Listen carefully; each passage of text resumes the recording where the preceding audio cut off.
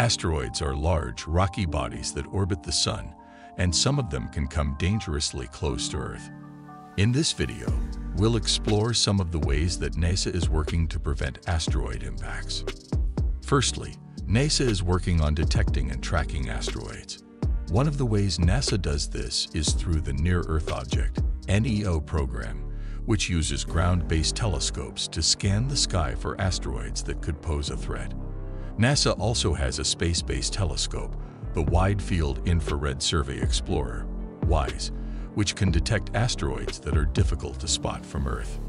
Once an asteroid is detected, NASA can then determine its orbit and predict whether it will come close to Earth. If an asteroid is found to be on a collision course with our planet, NASA has several strategies to prevent it from hitting us. One of the methods that NASA is exploring is called the kinetic impactor. This involves using a spacecraft to collide with the asteroid at high speed. The idea is that the impact will change the asteroid's trajectory and redirect it away from Earth.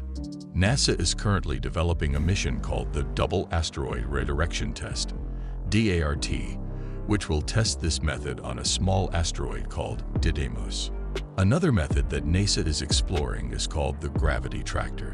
This involves using a spacecraft to hover near the asteroid and use its gravity to slowly change the asteroid's trajectory. The idea is that over time, the asteroid will be redirected away from Earth. NASA has studied this method in detail and is considering it for future missions. In conclusion, NASA is working hard to prevent asteroids from hitting Earth.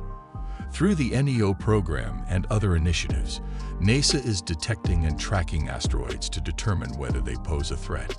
If an asteroid is found to be on a collision course, NASA has several strategies to redirect the asteroid away from Earth.